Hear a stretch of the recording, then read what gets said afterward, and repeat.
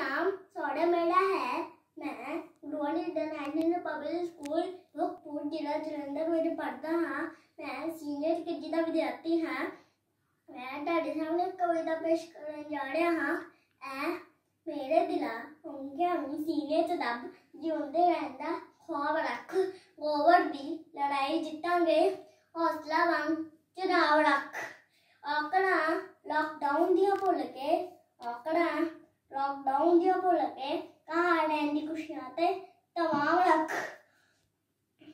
ਦੁਸ਼ਮਣ ਨੂੰ ਤੂੰ ਹਰਾ ਸਕਦਾ ਹੈ ਦੁਸ਼ਮਣ ਨੂੰ ਤੂੰ ਹਰਾ ਸਕਦਾ ਹੈ ਅੱਖਾਂ ਮੂੰਹ ਤੇ ਨੱਕ ਨੂੰ ਢੱਕ ਪਰ ਫਲ ਸਬਜ਼ੀਆਂ ਦੀ ਵਰਤੋਂ ਕਰਕੇ ਆਪਣੇ ਆਪ ਨੂੰ ਵਾਇਰਸ ਤੋਂ ਆਜ਼ਾਦ ਰੱਖ ਡਾਕਟਰ ਪੁਲਿਸ ਦੇ ਸਿਹਤ ਕਰਮਚਾਰੀ ਡਾਕਟਰ ਪੁਲਿਸ ਦੇ ਸਿਹਤ ਕਰਮਚਾਰੀ